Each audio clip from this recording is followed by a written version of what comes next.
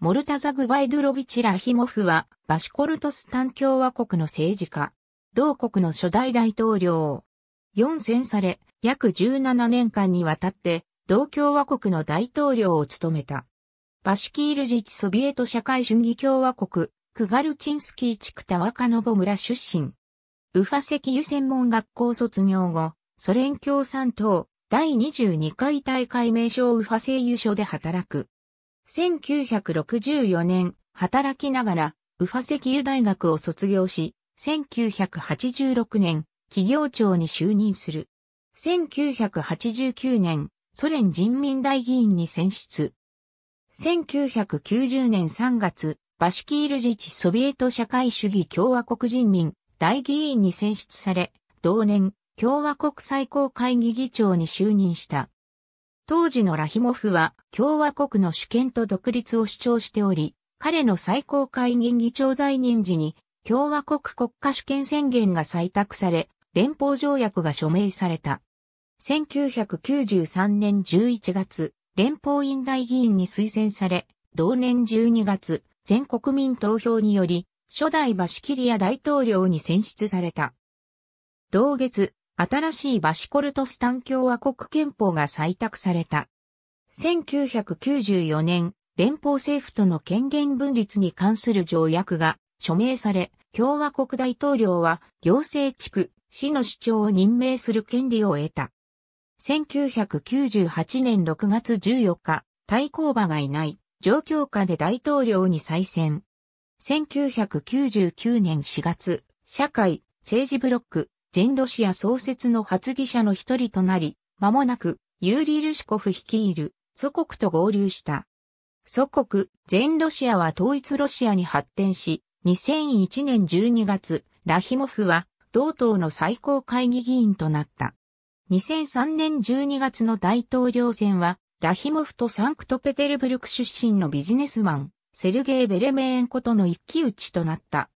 対抗馬が出現した理由の一つは、連邦政府がラヒモフの息子のウラルが管理する共和国所有の石油会社バシネフチとバシネフチェヒムの連邦への移管を要求していたことにあった。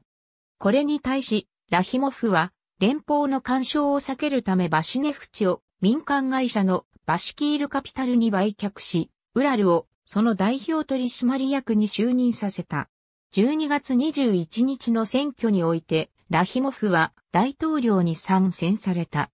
2005年、ブラゴベシチェンスク市において民警が市民を不法拘束する事件が発生した後、ラヒモフ退陣を要求する野党の集会が始まった。同年、連邦政府との関係改善を模索したラヒモフは、息子のウラルに石油関連会社の民有化の結果を生産するよう要求した。その結果、130億ルーブルが連邦予算に編入された。2006年9月、ラヒモフは自らの信任問題を提起した。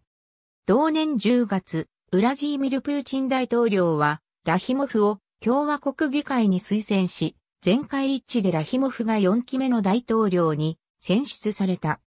2007年10月、第5期国会員選挙において、現地統一ロシアを指揮。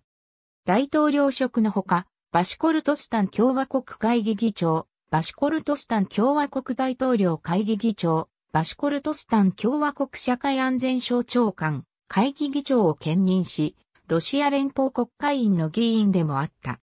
2010年7月、ラヒモフは任期を残して辞表提出し、7月15日にドミートリー・メドベージェフ連邦大統領は辞表を受理してルステム・ハミトフを大統領代行に任命した。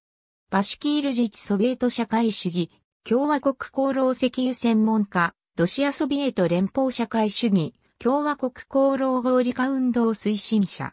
名誉記章勲章、労働赤旗勲章、諸民族友好勲章、二等、祖国に対する貢献に対する勲章を受章。